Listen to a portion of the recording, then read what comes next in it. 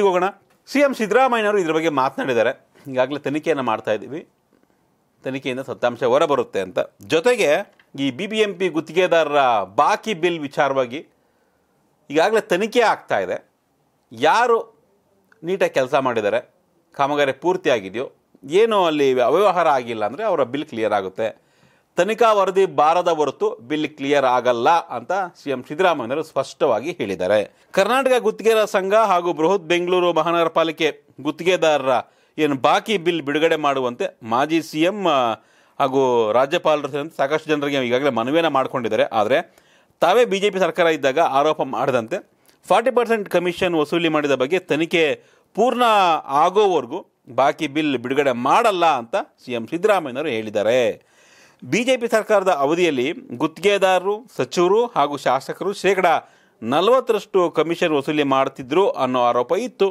ಹೀಗಾಗಿ ಕಮಿಷನ್ ಬಗ್ಗೆ ತನಿಖೆ ಪ್ರಗತಿಯಲ್ಲಿದೆ. ತಪ್ಪು ಮಾಡದೇ ಇರೋರಿಗೆ ಬಿಲ್ನಲ್ಲಿ ಯಾವುದೇ ಸಮಸ್ಯೆ ಆಗಲ್ಲ. ತಪ್ಪು ಮಾಡಿರೋರಿಗೆ ಆ ಭಯ ಇರುತ್ತೆ. ಬಿ ಜೆ ಪಿಗೆ ನಮ್ಮ ಬಗ್ಗೆ ಮಾತನಾಡುವ ನೈತಿಕತೆ ಇಲ್ಲ ಅಂತ ಸಿದ್ದರಾಮಯ್ಯನವರು ಹೇಳಿದರು.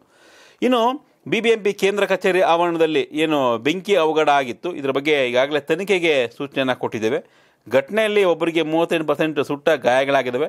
ನಲವತ್ತೆಂಟು ಗಂಟೆಗಳ ಕಾಲ ನಿಗಾದಲ್ಲಿ ಇಡೋದಾಗಿ ವೈದ್ಯರು ಹೇಳಿದ್ದಾರೆ. ಎಲ್ಲರನ್ನೂ ಕೂಡ ಐ ಸಿ ಯುಗೆ ಶಿಫ್ಟ್ ಮಾಡುವಂತೆ ಸೂಚನೆಯನ್ನು ಕೊಟ್ಟಿದ್ದೇನೆ ಅನ್ನೋ ಒಂದು ಮಾಹಿತಿಯನ್ನು ಕೊಟ್ಟರು ಅದೃಷ್ಟವಶಾತ್ ಏನು ಪ್ರಾಣಹಾನಿ ಆಗಿಲ್ಲ, ಕಣ್ಣುಗಳಿಗೇನು ತೊಂದರೆ ಆಗಿಲ್ಲ. ಮೇಲ್ನೋಟಕ್ಕೆ ಎಲ್ಲರೂ ಬದುಕುಳಿತಾರೆ ಅನ್ನೋ ಒಂದು ವಿಶ್ವಾಸ ಇದೆ. ಆದಷ್ಟು ಬೇಗ ಗುಣಮುಖರಾಗಲಿ ಅಂತ ಸಿ ಎಂ ಸಿದ್ದರಾಮಯ್ಯ ಹೇಳಿದರು. ಇನ್ನು ಈಗಾಗಲೇ ಬೆಂಕಿ ಪ್ರಕರಣದ ಬಗ್ಗೆ ಎಫ್ ಐ ಆರ್ ಸಹ ದಾಖಲಾಗಿದೆ ಅಂತ ಸಿ ಎಂ ಸಿದ್ದರಾಮಯ್ಯನವರು ಹೇಳಿದರು. ನೋಡೋಣ, ಇದು ಕೂಡ ಅಷ್ಟೇ. ಈಗ, ಈ ಬೆಂಕಿ ಪ್ರಕರಣಕ್ಕೂ, ಬಿಲ್ಗೂ ಎಲ್ಲೋ ಒಂದು ಕಡೆ ತಾಳೆ ಆಗ್ತಾ ಇದೆ. ರಾಜ್ಯಪಾಲರಿಗೆ ದೂರು ಕೊಟ್ಟಿದ್ದರು ಮಾಜಿ ಸಿ ಎಮ್ಗೆ ದೂರು ಕೊಟ್ಟಿದ್ದರು ಕುಮಾರಸ್ವಾಮಿಗೆ, ಬೊಮ್ಮಾಯಿ ಅವರಿಗೆ ಎಲ್ಲರೂ ಕೂಡ ದೂರು ಕೊಟ್ಟಿದ್ದರು ಗುತ್ತಿಗೆದಾರರು. ಅದಾದಮೇಲೆ ರಾಜ್ಯಪಾಲರು ಕೊಟ್ಟಿದ್ದರು ಸಿದ್ದರಾಮಯ್ಯನೂ ಕೂಡ ಭೇಟಿ ಆಗಿದ್ದರು ಇದೆಲ್ಲ ಒಂದು ಕಡೆ ಆಗ್ತಿದ್ರೆ, ಈಗಾಗಲೇ ನ್ಯಾಯಾಂಗ ತನಿಖೆಗೆ ರಾಜ್ಯ ಕಾಂಗ್ರೆಸ್ ಸರ್ಕಾರ ನೀಡಿದೆ.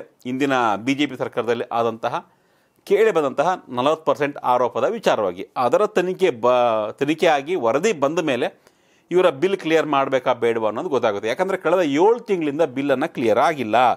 ಏಳು ತಿಂಗಳು ಅಂದರೆ ಈಗ ಕಾಂಗ್ರೆಸ್ ಸರ್ಕಾರ ಬಂದು ಮೂರು ತಿಂಗಳು, ಅದಕ್ಕೂ ಮುಂಚಿನ ಆರು ತಿಂಗಳು, ಅಂದರೆ ಬಿ ಜೆ ಪಿ ಸರ್ಕಾರದ ಬಿಲ್ಗಳು ಕೂಡ ಅದೇ ರೀತಿ ಉಳ್ಕೊಂಡಿದ್ದಾವೆ ಹಾಗಾಗಿ ಕ್ಲಿಯರ್ ಆಗಬೇಕು ಅಂದರೆ ತನಿಖೆಯ ವರದಿ ಬರಬೇಕು. ಯಾರು ಕರೆಕ್ಟಾಗಿ ಕೆಲಸ ಮಾಡಿದ್ದಾರೆ, ಅವ್ರಿಗೆ ಬಿಲ್ ಕೊಡ್ತೀವಿ. ಇಲ್ದವ್ರಿಗೆ ಬಿಲ್ ಕೊಡಲ್ಲ ಅಂತ ಖಡಕ್ಕಾಗಿ ಹೇಳ್ತಿದ್ದಾರೆ ಸಿ ಎಮ್ಮು ನೋಡೋಣ, ವರದಿಯಲ್ಲಿ ಏನಾಗುತ್ತೆ? ಫಾರ್ಟಿ ಪರ್ಸೆಂಟ್ ಯಾರು ಕೊಟ್ಟಿದ್ದಾರೆ? ಶಾಸಕರಿಗ, ಸಚಿವರ್ಗ, ಸಿ ಎಮ್ಗ ಫಾರ್ಟಿ ಪರ್ಸೆಂಟ್ ಕಳ್ರಿ ಯಾರು? ಗೊತ್ತಾಗಬೇಕು ಒಟ್ಟಿನಲ್ಲಿ ಜನರಿಗಷ್ಟೇ. ಎಸ್ ಇನ್ನು